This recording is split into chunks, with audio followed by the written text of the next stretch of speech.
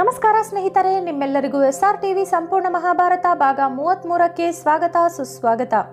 ನಾವು ಹಿಂದಿನ ವಿಡಿಯೋದಲ್ಲಿ ಕೃಪಾಚಾರ್ಯರು ಹಾಗೂ ದ್ರೋಣಾಚಾರ್ಯರು ಯಾವ ರೀತಿ ಜನಿಸಿದರೆಂದು ನೋಡಿದ್ದೇವೆ. ಈಗ ದ್ರೋಣ ಹಾಗೂ ರಾಜ ದ್ರುಪದರ ಸ್ನೇಹ ಹೇಗಿತ್ತು? ಅವರು ಕೌರವರನ್ನು ಹೇಗೆ ಭೇಟಿಯಾದರೆಂದು ತಿಳಿಯೋಣ. ಭರದ್ವಾಜರಿಗೆ ಪ್ರಿಶಾತ ಎಂಬ ಉತ್ತಮವಾದ ಸ್ನೇಹಿತನೊಬ್ಬನಿದ್ದ. ಆ ಪ್ರಿಶಾತ ದ್ರೋಣರು ನಿವಾಸವಿದ್ದ ರಾಜ್ಯದ ರಾಜ. ಪ್ರಿಶಾತನಿಗೆ ದೃಪದ ಎಂಬ ಒಬ್ಬ ಮಗನಿತ್ತ ದೃಪದ ಪ್ರತಿದಿನ ದ್ರೋಣರೊಂದಿಗೆ ಆಟವಾಡಲು ಅವರ ಮನೆಗೆ ಬರುತ್ತಿದ್ದರು. ಹೀಗೆಯೇ ಕೆಲವು ದಿನಗಳು ಕಳೆದವು. ದ್ರೋಣಾಚಾರ್ಯರ ತಂದೆ ಭರದ್ವಾಜರು ದೃಪದನ ತಂದೆ ಪ್ರಿಶಾತ ಇಬ್ಬರೂ ಮೃತಪಟ್ಟರು. ಪ್ರಿಶಾತ ಮೃತಪಟ್ಟ ಕಾರಣ ದೃಪದ ಉತ್ತರ ಪಾಂಚಾಲ ರಾಜ್ಯಕ್ಕೆ ರಾಜನಾದ. ದ್ರೋಣ ತನ್ನ ಮನೆಯಲ್ಲಿಯೇ ಬೆಳೆಯುತ್ತಿದ್ದರು.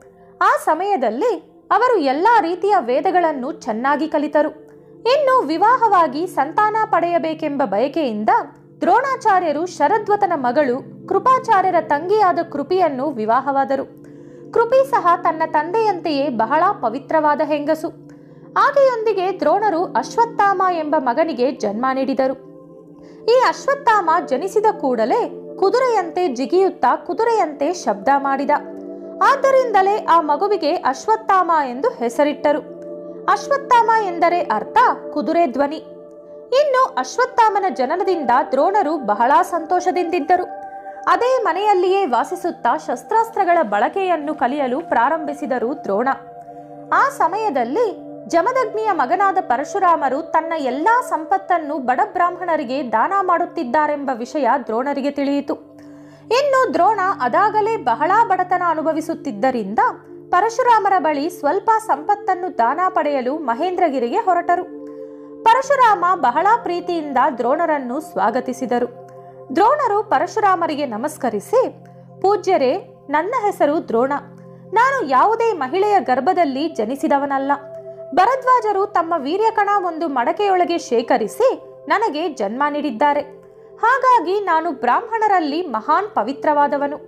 ನೀವು ಸಂಪತ್ತು ದಾನ ಮಾಡುತ್ತಿದ್ದೀರೆಂದು ಕೇಳಿ ಇಲ್ಲಿಯವರೆಗೂ ಬಂದಿದ್ದೇನೆ. ನಾನು ಬಹಳ ದರಿದ್ರ ಅನುಭವಿಸುತ್ತಿದ್ದೇನೆ. ನಿಮಗೆಷ್ಟು ಇಷ್ಟವಾಗುತ್ತದೋ ಅಷ್ಟು ದುಡ್ಡು, ಹಸು, ಭೂಮಿ ಅಥವಾ ಏನಾದರೂ ನನಗೆ ದಾನ ಮಾಡಿ ಎಂದು ಕೇಳಿದರು. ಅದನ್ನು ಕೇಳಿದ ಪರಶುರಾಮರು, ನನ್ನನ್ನು ಕ್ಷಮಿಸುದ್ರೋಣ. ನೀನು ಸ್ವಲ್ಪ ತಡವಾಗಿ ಬಂದಿರುವೆ. ಸ್ವಲ್ಪ ದಿನಗಳ ಹಿಂದೆಯೇ ನನ್ನೆಲ್ಲಾ ಸಂಪತ್ತು ದಾನ ಮಾಡಿ ತಪಸ್ವಿಯ ಜೀವನ ನಡೆಸಲು ನಾನೀ ಪರ್ವತಕ್ಕೆ ಬಂದಿದ್ದೇನೆ. ನಾನು ಗೆದ್ದ ಎಲ್ಲಾ ಭೂಮಿಯನ್ನೂ ಸಹ ಕಶ್ಯಪರಿಗೆ ದಾನ ಮಾಡಿದ್ದೇನೆ. ಈಗ ನನ್ನ ಬಳಿ ಉಳಿದಿರುವುದು ಈ ನನ್ನ ದೇಹ ಹಾಗೂ ನನ್ನ ಬೆಲೆ ಬಾಳುವ ಅಸ್ತ್ರಗಳು. ನಿನಗೆ ನನ್ನ ದೇಹದ ಯಾವುದೇ ಭಾಗ ಉಪಯೋಗಕ್ಕೆ ಬರುತ್ತದೆ ಎಂದರೆ ಹೇಳು. ಅದನ್ನೇ ಕತ್ತರಿಸಿಕೊಡುತ್ತೇನೆ. ಅಥವಾ ನನ್ನ ಅಸ್ತ್ರಗಳು ಬೇಕೆಂದರೆ ಅದನ್ನೇ ತೆಗೆದುಕೋ ಎಂದರು ಪರಶುರಾಮ. ಆಗ ದ್ರೋಣಾಚಾರ್ಯರು, ಪೂಜ್ಯರೇ, ನೀವು ನಿಮ್ಮ ಅಸ್ತ್ರಗಳು ಹಾಗೂ ಅದನ್ನು ಬಳಸುವ ವಿಧಾನವನ್ನು ನನಗೆ ಕಲಿಸಿಕೊಡಿ ಎಂದರು. ಇನ್ನು ಎಲ್ಲ ಅಸ್ತ್ರಶಸ್ತ್ರ ವಿದ್ಯೆಯನ್ನೂ ಗಳಿಸಿ ಮಹಾನ್ ಪರಾಕ್ರಮೆಯಾದ ದ್ರೋಣ ಅಲ್ಲಿಂದ ಒಂದು ಬಾರಿ ತನ್ನ ಸ್ನೇಹಿತ ದೃಪದನನ್ನು ಭೇಟಿಯಾಗಲು ಅರಮನೆಗೆ ಬಂದರು. ಅವರು ಸಂತೋಷದಿಂದ ತನ್ನೆಲ್ಲ ಅಸ್ತ್ರಶಸ್ತ್ರಗಳನ್ನು ದೃಪದನಿಗೆ ತೋರಿಸೋಣ ಎಂದುಕೊಂಡಿದ್ದರು.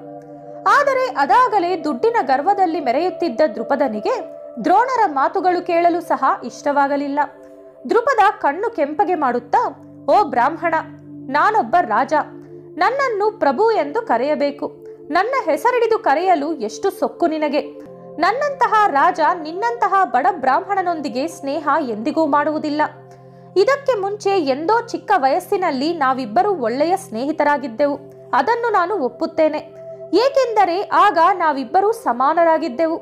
ಆದರೆ ಸಮಯ ಎಲ್ಲವನ್ನೂ ಬದಲಾಯಿಸುತ್ತದೆ.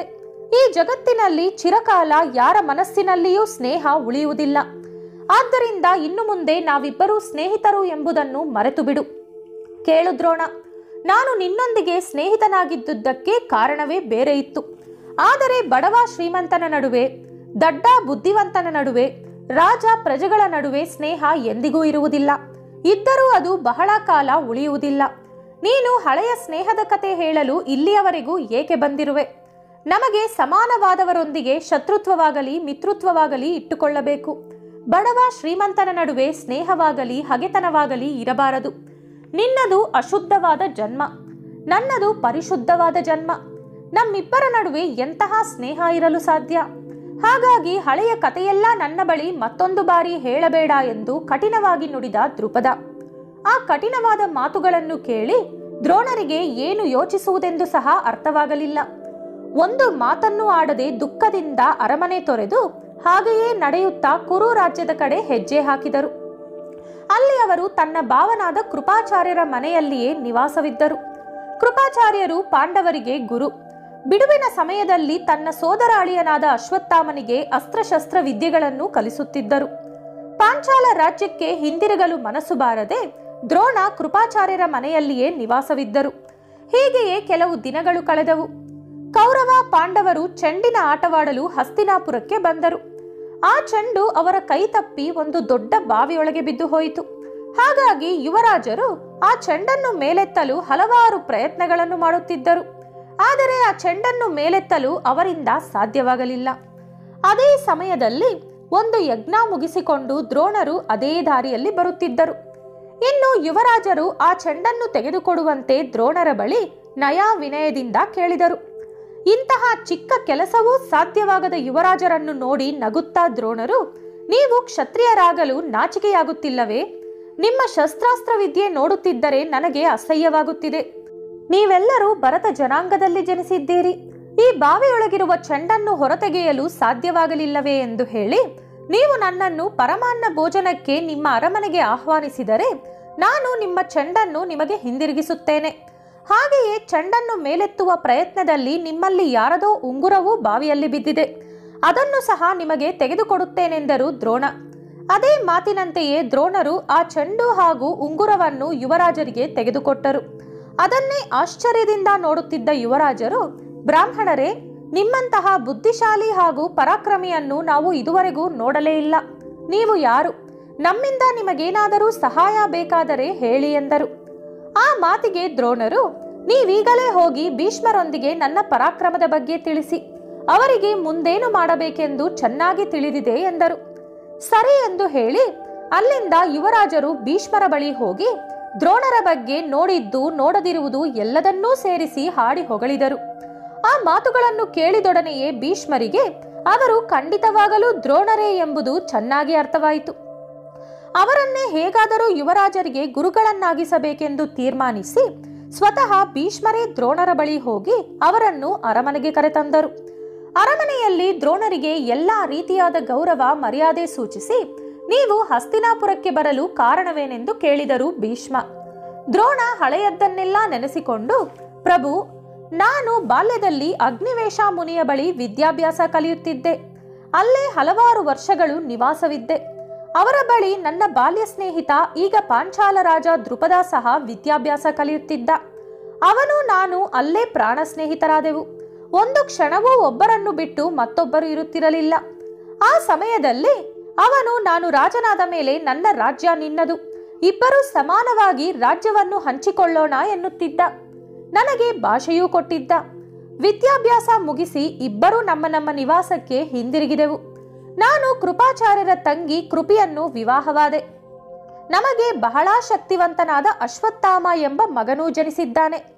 ನನ್ನ ಮಗನಿಗೆ ಸರಿಯಾಗಿ ಕುಡಿಯಲು ಹಾಲು ಸಹ ಇಲ್ಲದೆ ಶ್ರೀಮಂತರು ಹಾಲು ಕುಡಿಯುವುದನ್ನು ನೋಡಿ ಬಹಳ ಆಳುತ್ತಿದ್ದ. ನಾನು ಒಂದು ಹಸುವನ್ನು ದಾನ ಬೇಡಲು ಅತಿ ಹೆಚ್ಚು ಹಸುಗಳನ್ನು ಹೊಂದಿದ್ದ ಪ್ರತಿ ಮನೆಗೂ ಹೋಗಿ ಬೇಡುತ್ತಿದ್ದೆ.